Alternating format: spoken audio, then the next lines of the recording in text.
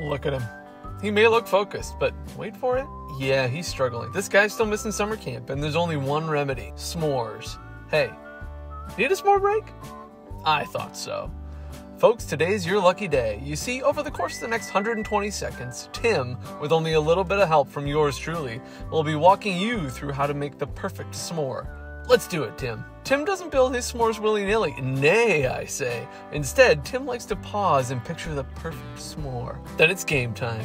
Can't have a s'more without a fire, and can't have a fire without supplies. Supplies. Whoa, whoa, whoa. Wise man once said the magic comes in gatherings, so slow down. This isn't putting at the salad bar. Camp won't run out of sticks. Nice work. Look at all those fire supplies. Supplies. I'm having deja vu, so let's speed this thing up. Don't forget, with kindling, you want to drop the G.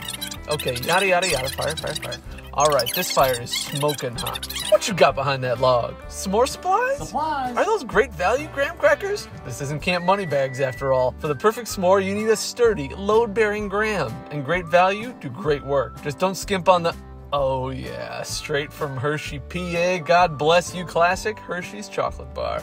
And lastly, ah, the mallow. Like my friend the Stay Puft Marshmallow Man says, All right, now that we're good on the supplies, Supplies. you need a nice sharp stick. Kids, only use a knife with your parents' permission. All right, now put that, dude, it's not like putting a worm on a hook. Just stick it on there, buddy. Next up, roast the mallow. Some like them rare, others medium well, and many others well done. There's no wrong way to roast a marshmallow, except that there is. All right, now that you've cooked it to order, you got your chocolate on the graham and you're ready to sandwich that bad boy.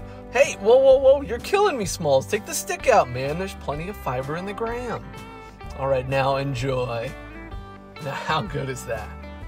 Oh, oh, hold up, buddy. You got a little marshmallow on your. uh, Oh, you got it.